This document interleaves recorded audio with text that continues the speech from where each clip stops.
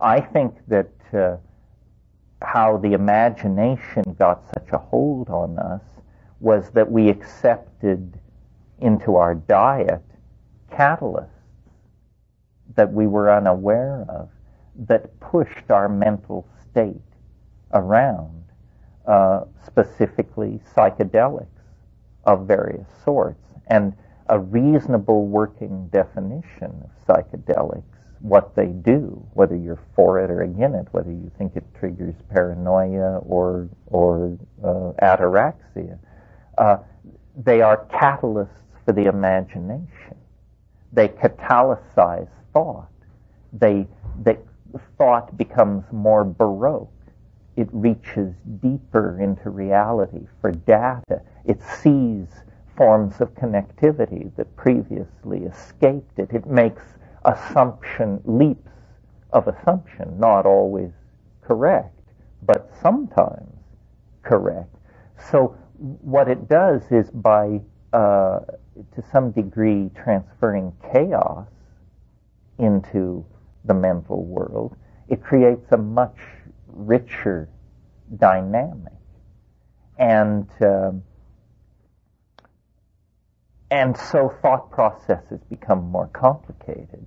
And in a sense, then uh, language becomes the behavior which expresses the imagination.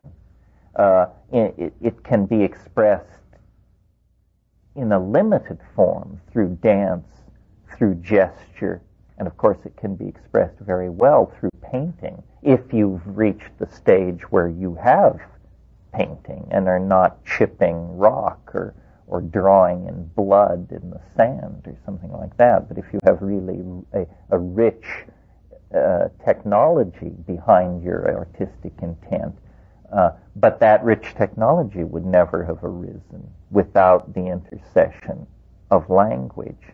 And so these two things, which make us unique among nature's productions on this planet, imagination and language seem to be almost like the exterior and interior manifestation of the same thing the same phenomenon. And what it is, is it's a facility with data, an ability to connect it in novel ways uh, for one's own entertainment and amusement, if nothing else.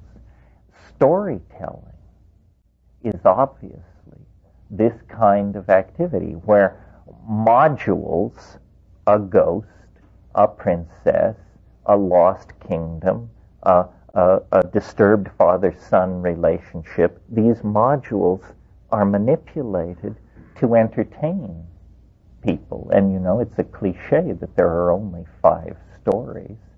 And I think Robert Graves in The White Goddess argued there's only one story.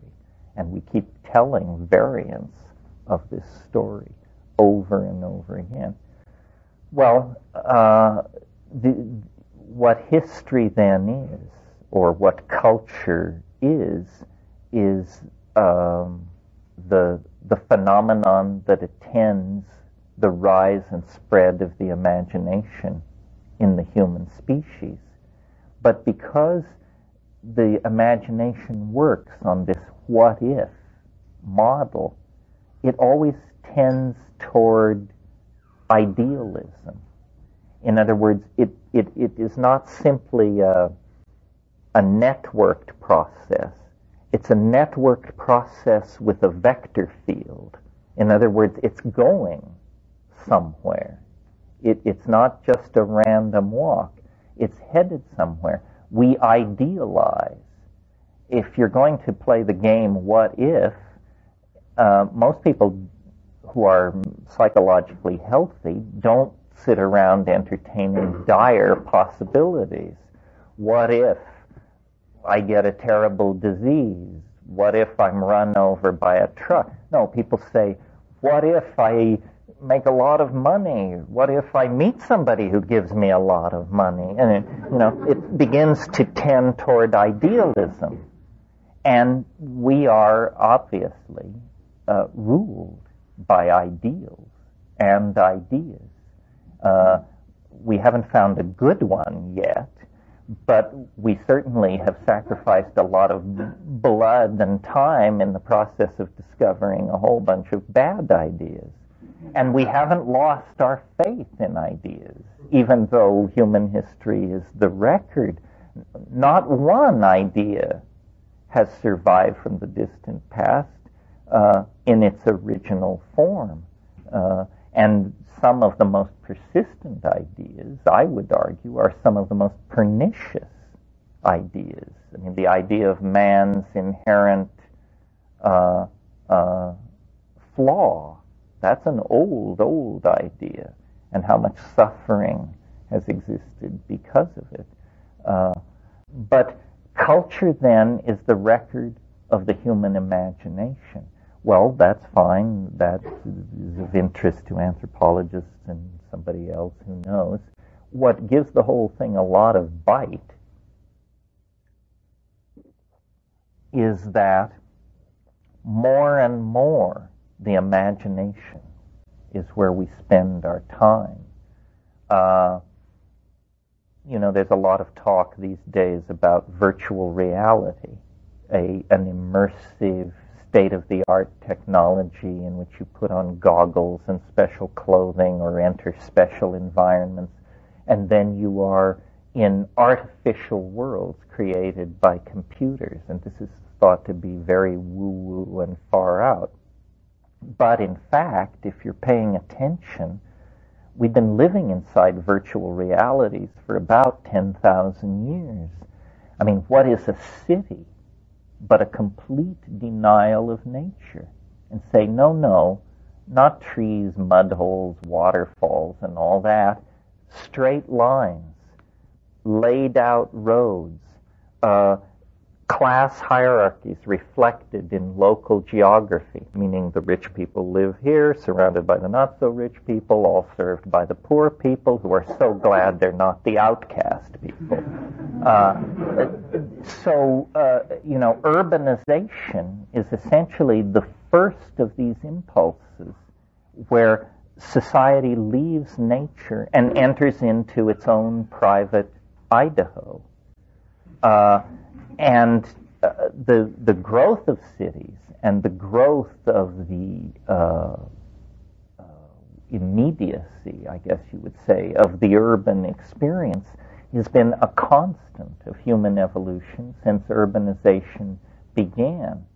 Uh, now, the only difference that the new technologies offer is we are going to do this with light not mortar, brick, steel, aluminum, and titanium, which are incredibly intractable materials. I mean, it's, it's amazing to me. We started with the toughest stuff. And, uh, uh, and of course, it cost enormous amounts of human blood and treasure to work with such intractable materials. It's always been amazing to me that the largest buildings human beings ever built are, in a sense, the first buildings human beings ever built, because the pyramids of Egypt are enormous, even by modern scale, and yet they were among the earliest buildings uh, ever built. In virtual reality, the difference between a hundred story building and a ten story building is one zero. That's all in a line of code you specify 100 over 10, and you get a 100 story building instead of a 10 story building. Uh, what this should tell us is that in the domain of light, the intractability of matter is overcome. And so we are on the brink of a time, we are, we have arrived, we are at the time where the human imagination now need meet no barriers to its intent. And so we are going to find out who we are. We are going to discover what it means to be human when there is no resistance to human will. but these are the things I'm thinking about. History feels very risky to a lot of people.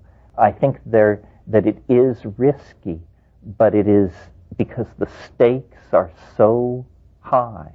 We really have an opportunity to transcend ourselves and to fulfill the human enterprise on this planet. And, uh, you know, I, I'm so aware of the limitations of the people of the past, their agonies, their concerns. I mean, how many children died, were born stillborn? How many women died in childbirth? Nine times in the last five million years, the glaciers have ground south from the poles, pushing everything in their path. Those people didn't drop the ball. Uh, the amount of human suffering and agony that has gone into carrying us to this moment of privilege and opportunity is incalculable and can only be redeemed if we bring this inherent human beauty uh, into the world as spiritual food for ourselves and for the human community.